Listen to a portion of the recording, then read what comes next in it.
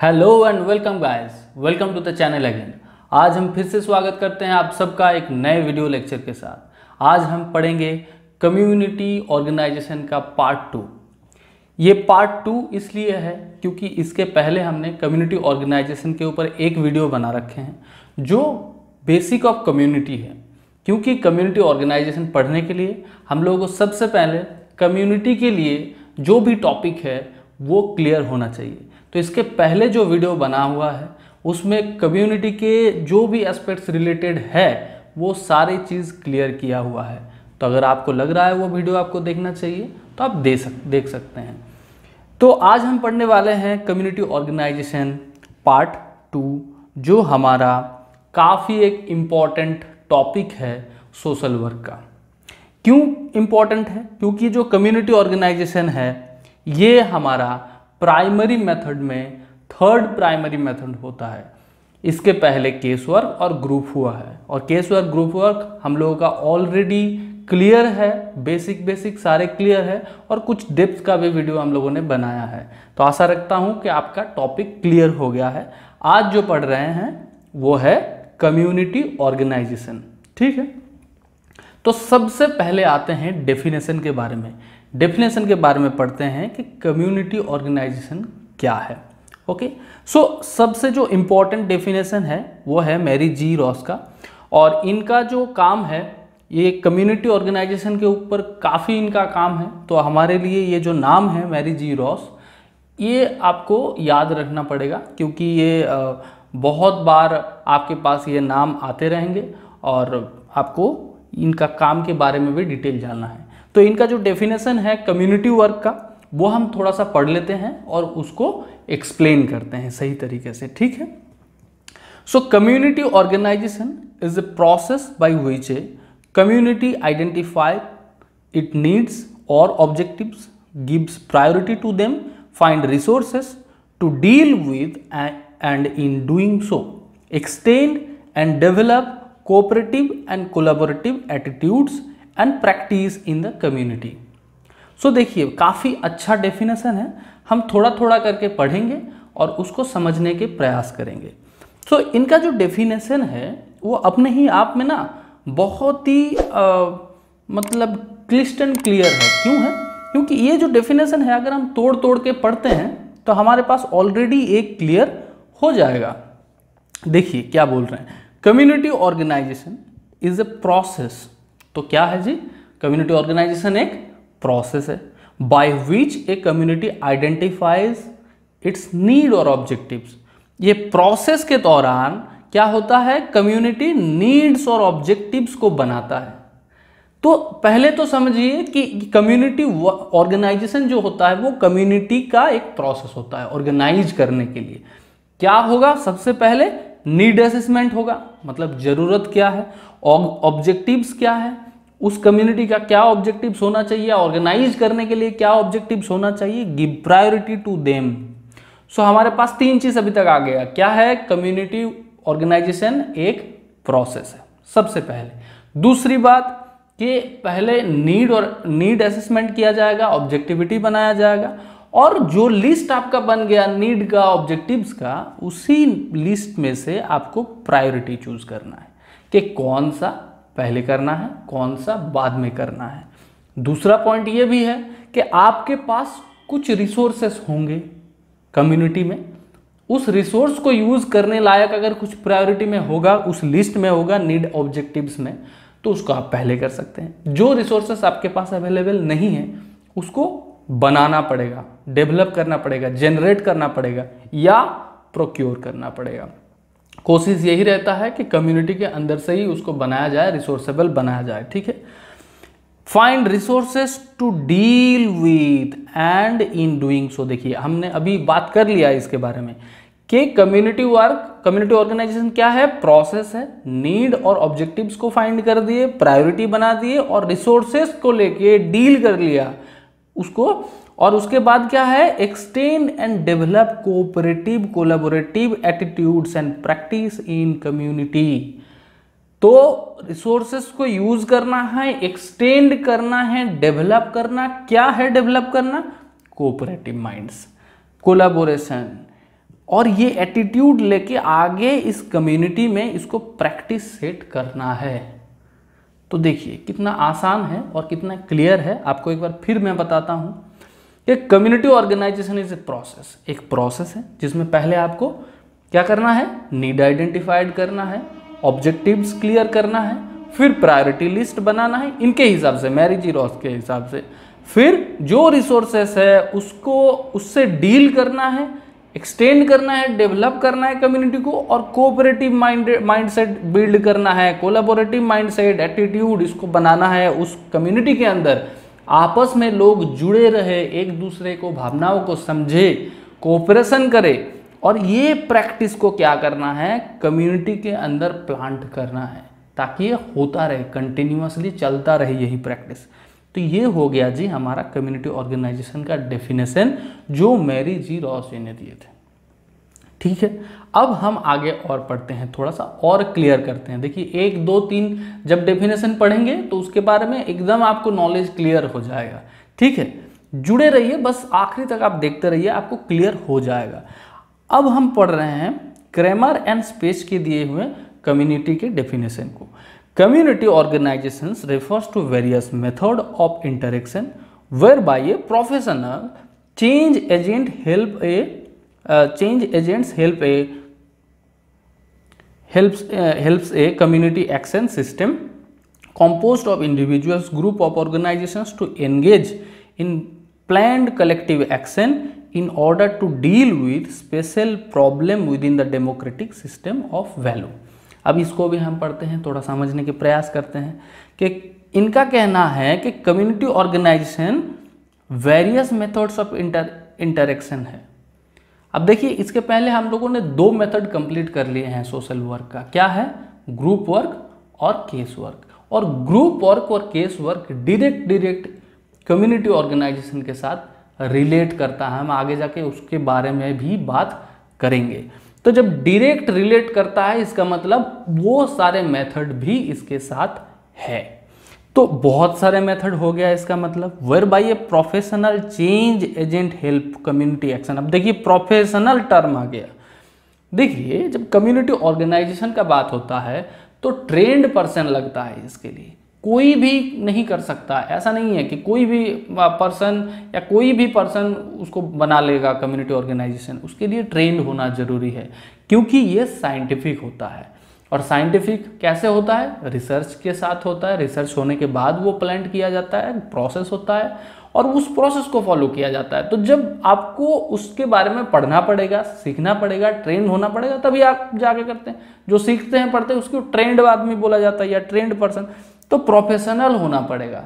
पहले क्या बात हो रहा है कि कम्युनिटी ऑर्गेनाइजेशन बहुत सारे मेथड के साथ हो रहा है। उसके बाद ट्रेंड पर्सन प्रोफेशनल एजेंट एक होगा, जो क्या करेगा? हेल्प ए कम्युनिटी एक हेल्प करेगा action system composed of individuals groups of organisations to engage in planned collective action क्या करना है? Planned collective action in order to deal with special problem within the democratic system of value इसका, इनका कहना है कि community organisation एक नहीं, बहुत सारे मेथड का इंटरेक्शन है और एक प्रोफेशनल पर्सन कम्युनिटी के जो सिस्टम्स है प्रॉब्लम्स है, वो इंडिविजुअल से लेके ग्रुप लेके ऑर्गेनाइज करना है एंगेज करना है प्लान करना है सबको लेके और कलेक्टिव एक्शन प्लान करना है कोई एक स्पेसिफिक प्रॉब्लम को स्पेसिफिक प्रॉब्लम के ऊपर जो कम्युनिटी से होगा, ज़रूरी है। With in the democratic system और वो किस तरीके का होगा?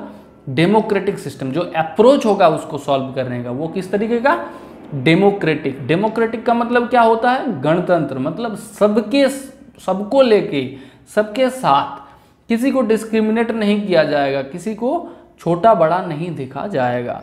तो इस तरीके से ये हो गया कम्युनिटी ऑर्गेनाइजेशन का डेफिनेशन हमने दो डेफिनेशन अभी तक पढ़ लिया। और हमें लगता है आपको कहीं ना कहीं क्लियर हो रहा है। नहीं हो रहा है तो थोड़ा सा आप भी पढ़िए। क्योंकि मुझे लग रहा है कम्युनिटी ऑर्गेनाइजेशन के बारे में आपको समझ में आ गया है, ठीक है? अब हम आगे पढ़ते हैं। Dimensions of community organisation dimensions of organise देखिए डायमेंशंस हमने पढ़ा था केस वर्क के टाइम भी ठीक है? प्रोसेस के टाइम पढ़ा था डायमेंशंस तो dimensions of community organisation dimension क्या होता है? एक कोई, एक पर्टिकुलर ऑब्जेक्टिव ऑब्जेक्ट्स है उसके साथ रिलेट करने वाले जो भी चीज़ है उसको एक स्ट्रक्चर देने के लिए वो सारे चीज़ उसका डायमेंशन हो जाता है। ठीक है? अब हम इसका जो कम्युनिटी ऑर्गेनाइजेशन है उसका क्या क्या डायमेंशन है वो हम थोड़ा सा पढ़ लेते हैं और समझ लेते हैं। सो so, सबसे पहले जो डायमेंशन है वो है nature of settings and focus on community problems अब देखिए यहाँ पर एक शब्द आ गया सेटिंग्स नेचर ऑफ़ सेटिंग्स। अब यहाँ तक तो सेटिंग कुछ था नहीं। सेटिंग्स क्या है? सेटिंग्स जब आप कम्युनिटी वर्क करते हैं या कम्युनिटी ऑर्गेनाइजेशन करते हैं तो कम्युनिटी को ऑर्गेनाइज करने के लिए, वहाँ के जो मेंबर्स है, उसको, उन लोगों को ऑर्गेनाइज करने के लिए जो कम्युनिटी वर्कर है या जो सोशल वर्कर है, उनको सेटिंग देना पड़ता है। मतलब बैठना पड़ता है। उन लोगों को जिस तरीके से हम लोग केस वर्क करने के टाइम सेटिंग्स दे रहे थे, उसी तरीके से सेटिंग देना है उस कम्युनिटी के लिए।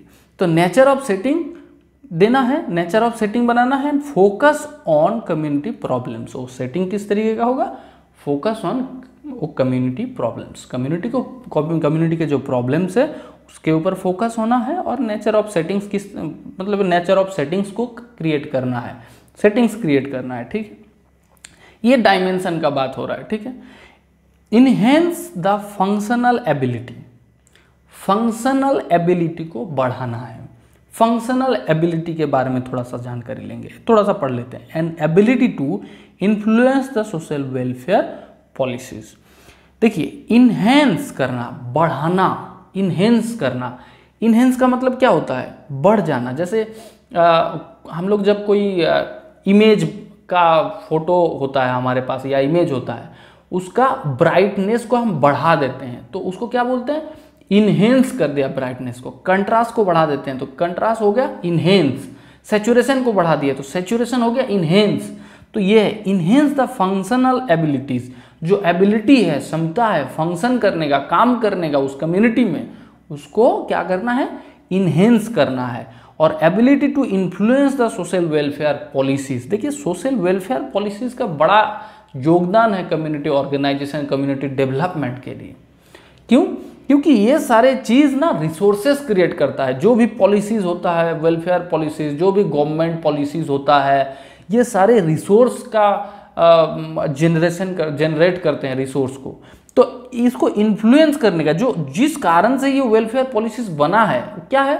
कोई ना कोई इम्पैक्ट क्रिएट करेगा तो वो इम्पैक्ट इन्फ्लुएंस करे। बढ़ा एक से, एक जगह से दूसरे जगह फ्लोट हो जाए, इस तरीके का करना है। समझ रहे हैं आप? Ability to influence the social welfare policy ठीक है?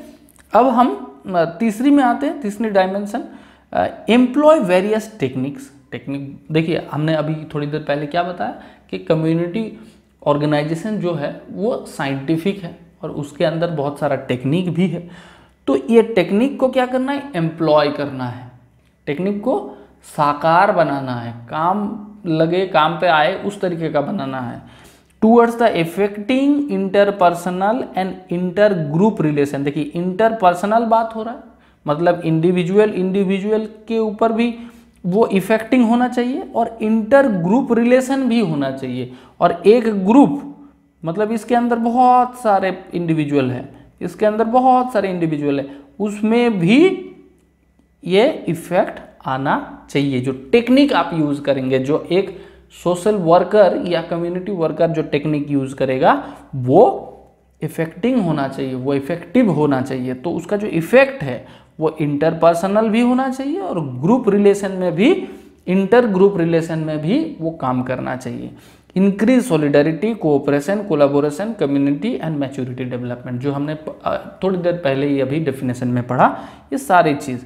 ये जो भी टेक्निक्स है, वो इस तरीके से काम करना है ताकि अंदर में रहने वाले जितने, उस कम्युनिटी में रहने वाले जितने भी इंडिविजुअल्स है ग्रुप है, उन लोगों का कोलाबोरेशन पावर बढ़ जाए कोऑपरेटिव नेचर बन जाए रिलेशन बिल्ड हो जाए और मैच्योरिटी में आ जाए। तो ये डेवलपमेंट होगा उस कम्युनिटी का। ठीक है जी? अब हम आगे बढ़ते हैं थोड़ा सा। देखिए, यहाँ पर दो पॉइंट हमने यहाँ पर लिख के रखा है। एक है कम्युनिटी वर्क और एक है कम्युनिटी डेवलपमेंट ठीक है? देखिए, जब आप कम्युनिटी ऑर्गेनाइजेशन पढ़ेंगे तो आपके पास ऐसे बहुत सारे क्लोज टू टर्म्स आएगा क्लोज टू जो एग्जैक्ट मीनिंग तो क्रिएट नहीं करता है, लेकिन क्लोज टू है। और बातों बातों में ये सारे शब्द आप बहुत ज़्यादा यूज़ करेंगे धीरे धीरे। तो उसी तरीके का एक शब्द का, दो शब्द यहाँ पर है, एक है कम्युनिटी वर्क और है कम्युनिटी डेवलपमेंट तो इसको थोड़ा हम जान लेते हैं बेसिक बेसिक कि ये क्या है और किस तरीके से डिफरेंट है कम्युनिटी ऑर्गेनाइजेशन से ठीक है? अब कम्युनिटी वर्क का मा, माने क्या है? Community work is a general term देखिए ये क्या करता है? जनरल टर्म है मतलब कोई भी कम्युनिटी वर्क को भी कम्युनिटी वर्क बोल लीजिए कम्युनिटी ऑर्गेनाइजेशन को भी कम्युनिटी वर्क बोल लीजिए कम्युनिटी डेवलपमेंट को भी आप कम्युनिटी वर्क बोल लीजिए। लेकिन ये है जनरल टर्म मतलब जनरल सबके लिए जो यूज़ हो जाता है। जनरल दैट मीन्स इनिशिएटिव और activity are delivered at a local level for the right of the people and fostering community based approaches for self development and increasing their stake in the development process.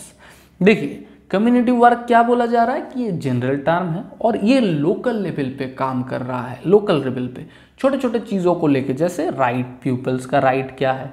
Community based approaches कुछ self development कुछ increasing stakes in development process ये सारी चीज़ के ऊपर community work कर रहा है। ये मतलब कम्युनिटी वर्क है। मतलब कोई भी चीज़, जब हम छोटे लोकल लेवल पे काम करेंगे, वो कम्युनिटी डेवलपमेंट का स्कोप बनेगा चांसेस बनेगा, उसी को हम कम्युनिटी वर्क का रेफरेंस दे सकते हैं कि ये कम्युनिटी वर्क है।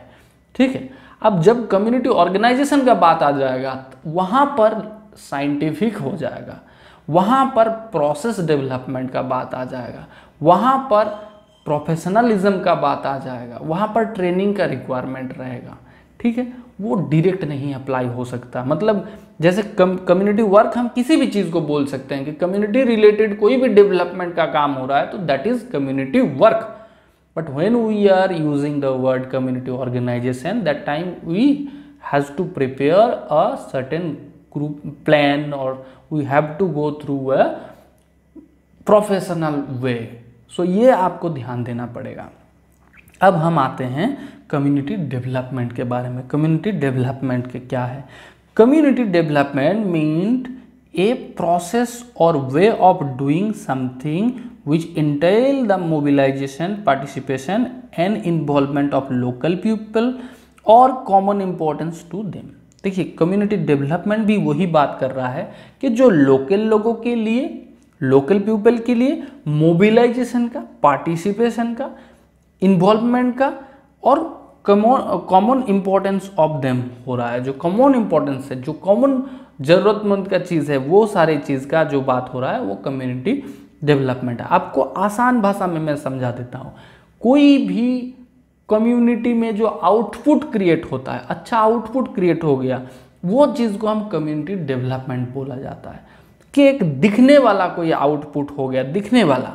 जैसे मोबिलाइजेशन किया तो ये मोबिलाइजेशन क्या हो गया? दिखता है। जब लोग गैदरिंग करेंगे, एक साथ कोई एक पर्टिकुलर चीज़ों की इसका मतलब कोई ना कोई यहाँ फंडामेंट्स काम कर रहा है। और वो चीज़ दिख रहा है। पार्टिसिपेशन लोग ज़्यादा आएँगे तो पता चलेगा कि पार्टिसिपेशन है। या जो इंटेंशन है पीपल का, वहाँ आने का, वो देख के आपको पता चल जाएगा ये पार्टिसिपेशन है।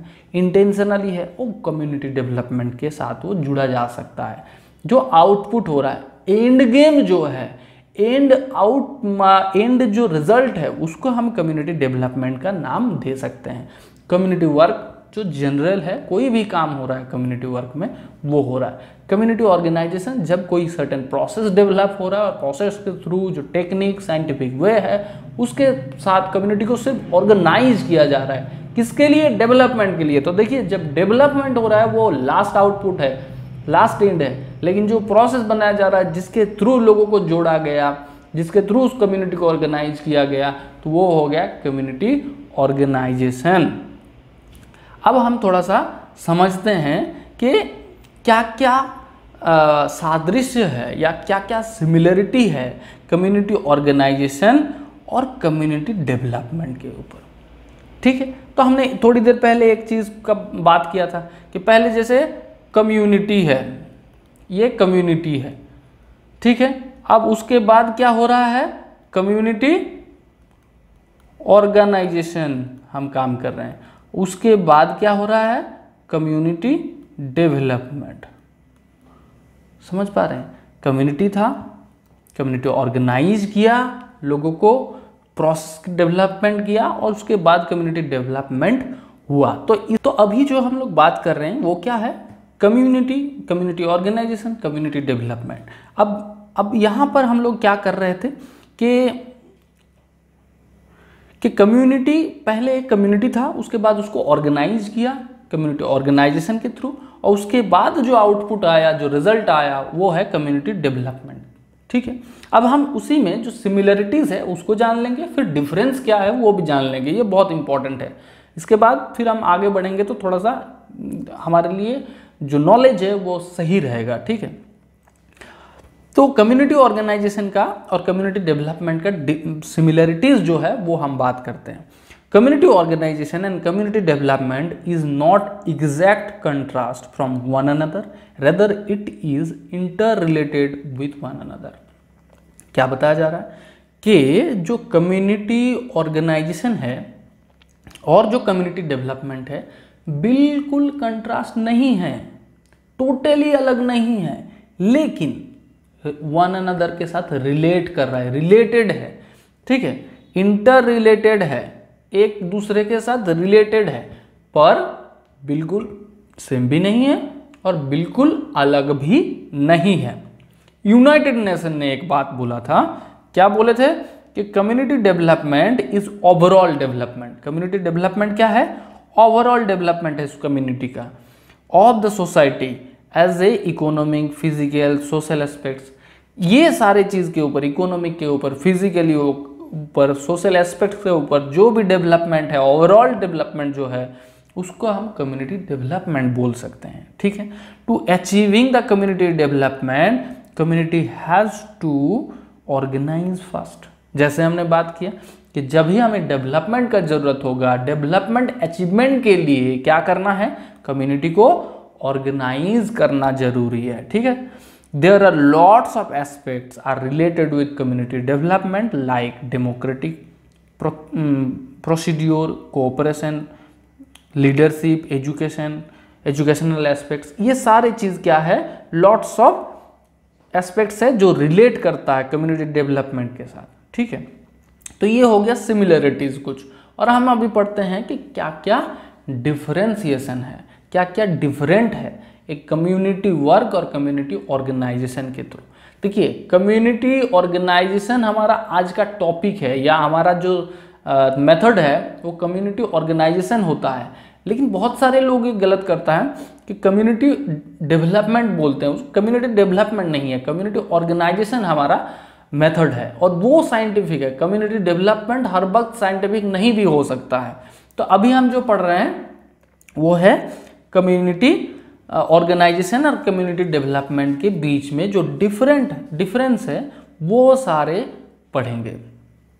Distinction between community organisation community development so community organisation is the method तो सबसे पहले हमने क्या बोला? कम्युनिटी ऑर्गेनाइजेशन मेथड है।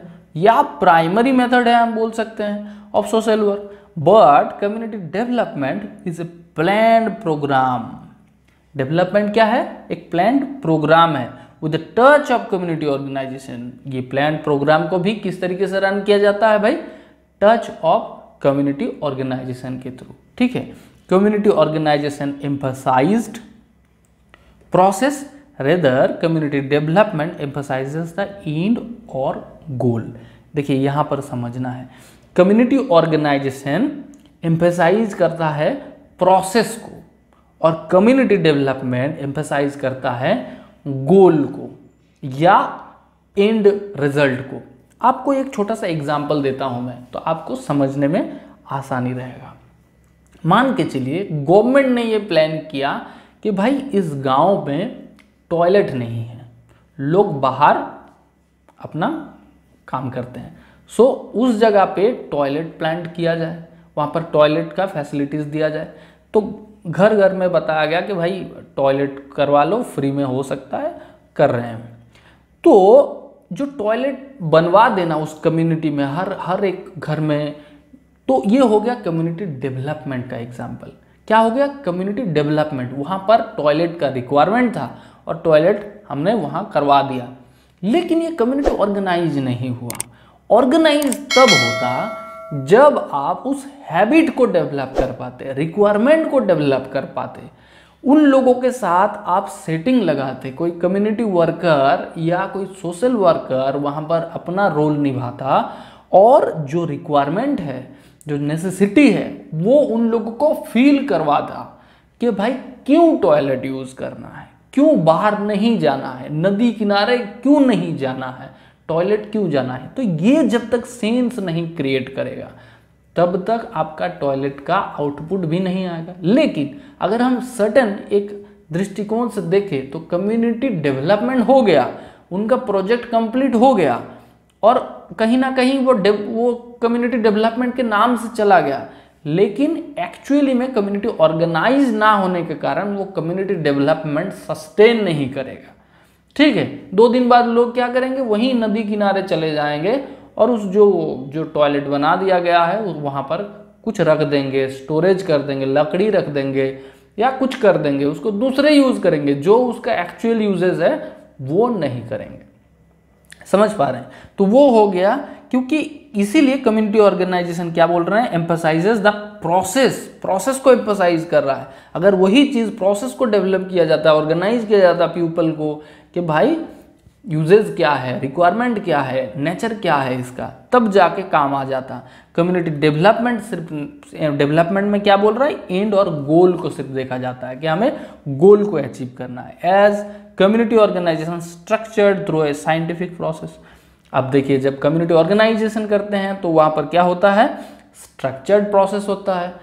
परफेक्टली सेटिंग बैठाना पड़ता है कि कब कब आना है, किस तरीके से आना है एक एक सर्टन प्रोसेस डेवलप किया जाता है कि पहले क्या होगा उसके बाद क्या होगा ग्रुप बनाया जाएगा किस तरीके से ग्रुप बनाया जाएगा क्या क्या एक्टिविटी होगा क्या क्या आ, उसमें आ, उसमें प्रोबेबिलिटीज़ क्रिएट होगा क्या क्या रिसोर्सेज क्रिएट होगा ये सारे चीज़ क्या है?